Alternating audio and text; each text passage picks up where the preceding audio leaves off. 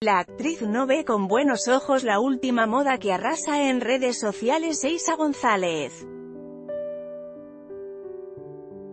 Photo, Agencia Reforma que nadie espera que la actriz Isa González se sume un día de estos a la última tendencia en hacer furor en las redes sociales, L.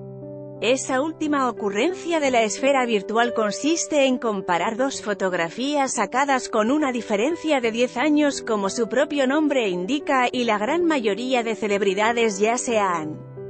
apresurado a satisfacer la curiosidad de sus fans rescatando imágenes antiguas de su álbum personal en la mayoría de ocasiones optando por las más favorecedoras para mostrar su particular antes y después.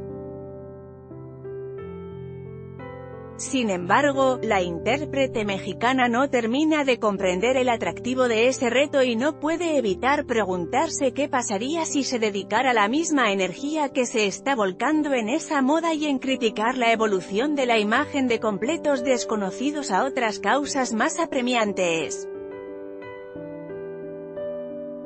No estoy entendiendo el punto de este 10 Year Challenge. ¿Es sobre hablar de las apariencias y sobre ser menos o más atractivo? ¿Qué tal si nos desafiáramos a ir a levantar basura y quien levante más gana?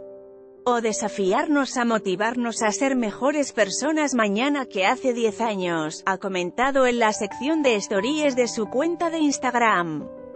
Por supuesto, no han faltado malpensados que se han apresurado a señalar que Isa sería una de las estrellas que más ha cambiado desde sus inicios en las telenovelas juveniles de su país debido a varios retoques estéticos que, por otra parte, ella nunca ha tratado de ocultar.